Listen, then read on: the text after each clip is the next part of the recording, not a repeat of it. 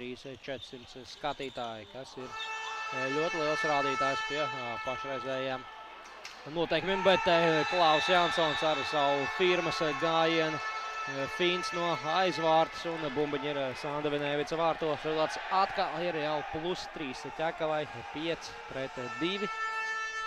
Un eh, Klaus Jansons arī šajā spēlē nepaliek savs